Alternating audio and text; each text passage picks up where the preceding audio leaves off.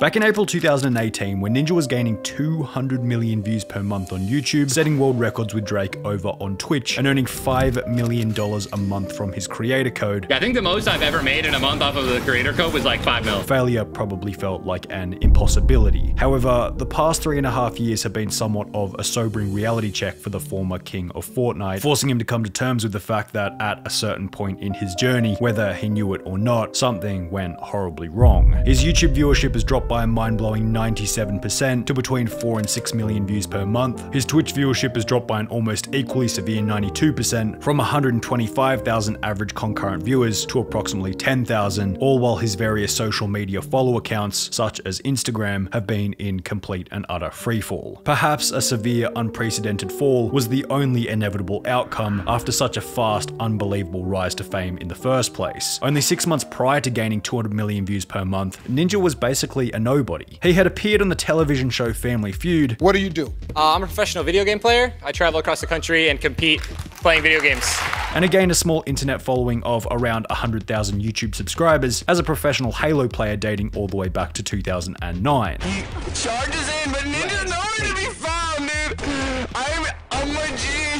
However, Battle Royale seemed to be the genre that Ninja had been born to play. He began to mess around with H1Z1 all the way back in 2015. Halo was horrible. No one really on Twitch watches it.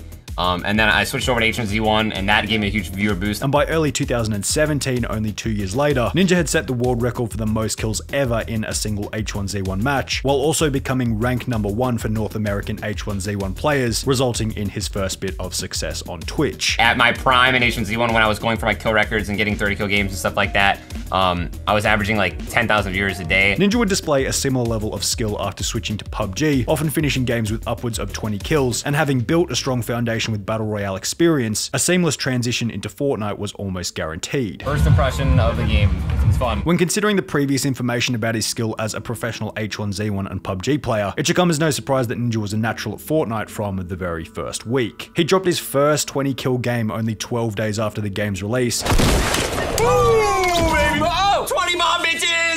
And his first 25 kill game only three days after that. The audience didn't flock to his channel on the very first day, however the fact that Fortnite had a new player base meant that Ninja had exposure to a new audience. This new audience liked him as he'd carried over a genuine, almost toxic personality that he'd developed during the H1Z1 and PUBG days when it only had a small following. The fact that he had this small following meant he really had nothing to lose with regards to how he acted on camera. He could be toxic, kind, annoyed, happy, whatever. It didn't matter because it always came off as authentic and genuine genuine. In addition to this, his small audience meant he wasn't inundated with sponsorships, business opportunities, and other extracurricular activities chewing up his time. It was just raw, unfiltered gaming all day, every day, trying to become as skilled as possible to provide the best content possible. With this approach, growth was inevitable. Ninja began to ride the tsunami-sized Fortnite wave as each and every gamer was looking for a new pro player to watch. 1 million views turned into 7 million views the next month, then 35 million views by January 2018, only one month later. At around the same point in time, approximately three months after the game's release, Ninja had become what many considered to be the best all-round player in the game, and was certainly one of the first people that came to mind when thinking about pro Fortnite players. With such, his Twitch followers also exploded exponentially, growing from 500,000 to 3 million over the course of only four months, placing him in the position of the most followed Twitch streamer and the first streamer ever to reach 3 million followers. This would help him to then break the world record for the most concurrent viewers on a Twitch stream ever after he and Drake streamed to 628,000 people, which would then be broken again after Ninja hosted an amateur professional tournament to over 680,000 people only one month after that. Ninja basically had a Fortnite viewership monopoly for the first six months of the game. He was better than everyone else, more dedicated to streaming than everyone else, had an excellent attitude, and was a generally likable person. Everyone could agree that at the time, his 125,000 average Twitch viewers per stream and 200 million monthly views on YouTube were 110% deserved. However, the landscape was shifting underneath Ninja's feet. Other players, streamers, and YouTubers were beginning to match his skill level. In April 2018, Ninja's peak month on both Twitch and YouTube, we saw players like Tfue uploading 36 kill solo v squad matches, High Distortion was dropping a 30 bomb every second day, and generally speaking, the skill gap that had helped Ninja to stand out in the beginning had well and truly begun to close by mid 2018. As other players were becoming better at the game, there was now significantly more competition for Ninja's channel on Twitch, and in the days of PUBG, he explained that more competition hurt his overall viewership. Dr. Disrespect,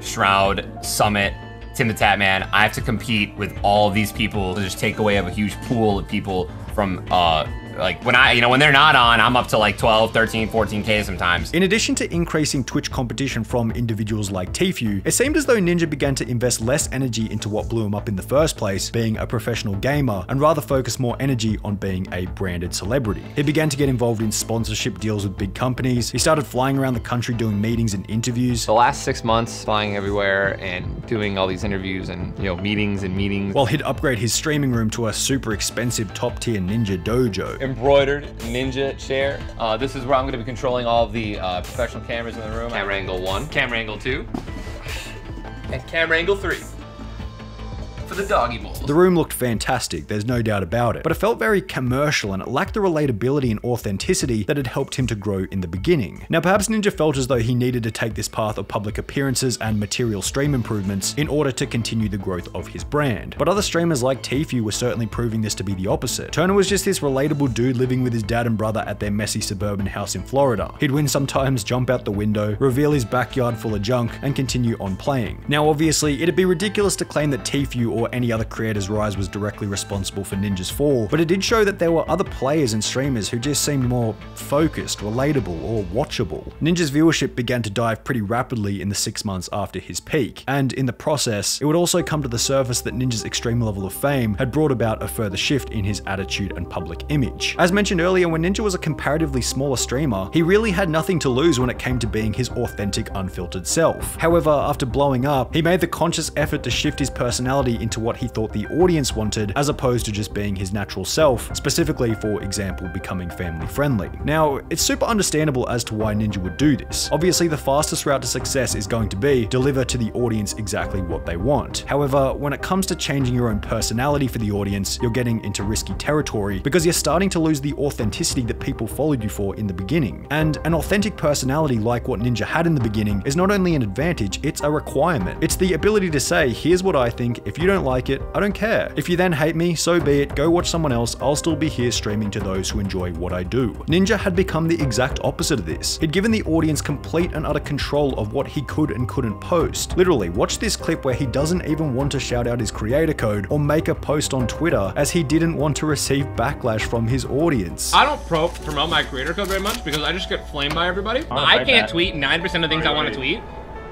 because like people will just they just meme it. They make it into a meme. Selfies, make it into a meme. Like,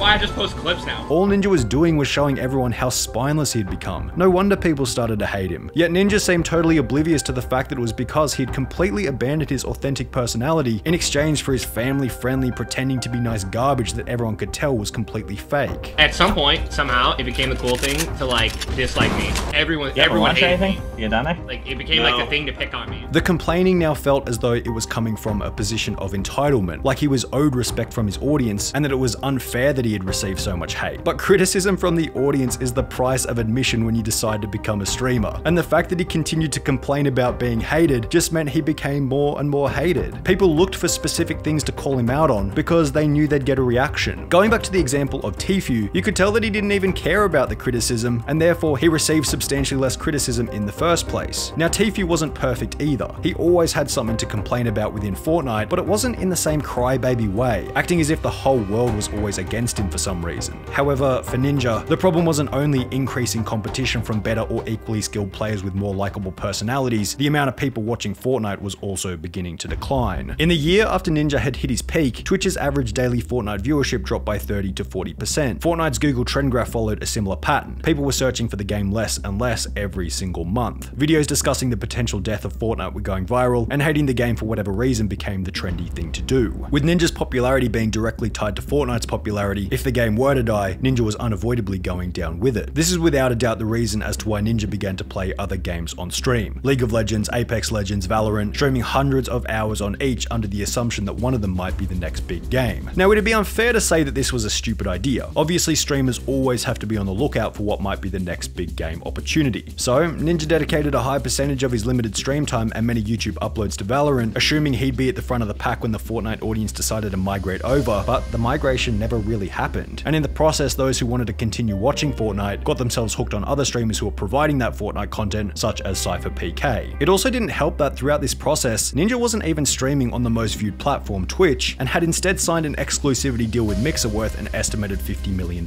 Now, again, it's so hard to comment on whether this was a good decision made by Ninja, because we don't really know what would have happened if Ninja simply stayed on Twitch, plus the money they paid him was absolutely insane. However, the amount they paid him was representative of something. It was saying this, here's a short-term cash injection because we both know that over the long run, your career is going to take a bit of a dip if you move to Mixer, and a dip his career certainly took. In the video letting everyone know he was moving to Mixer, Ninja came out with the same old inauthentic crap, stating, Yes, What are you most excited for about this change? You know, I feel like this is a, really good chance to get back in touch with my roots and really remember why I fell in love with streaming in the first place. Bro, everyone knows the only thing that went through your head when you were offered this deal was, is the money worth the damage that it will do to my reputation? It's ingenuine to try and convince your audience that you want to move to Mixer because you want to get back in touch with your streaming roots. You assume that your audience is so dumb that they won't be able to tell when you're lying through your teeth, then you sit back and wonder why they hate you. It's because you have a propensity towards being a fake piece of shit. Perhaps not everyone agreed, or they just hadn't figured it out yet, as 12 months after signing the contract, Ninja was still averaging 8,500 concurrent viewers per stream over on Mixer. However, this was substantially less than the 40,000 average viewers he was receiving on Twitch before making the move. Mixer then shut down in July 2020, Ninja returned to Twitch, and he was back to getting 40,000 views per stream. Well, only briefly. Only two months later, his viewership had declined back down to 10,000 average concurrent viewers, similar to the amount he had been receiving over on Mixer. On YouTube, a similar decline was well underway. As lockdowns around the globe were coming to an end, Ninja's viewership dropped from 40 million a month to 25 million a month, then 15 million a month, at which point it was becoming blatantly obvious that there was a serious lack of innovation and effort being put into the YouTube videos. Most of his titles and thumbnails look like they hadn't improved since 2018, and nothing solidified this more than a hilarious tweet made about one of these thumbnails. On his channel with over 20 million subscribers,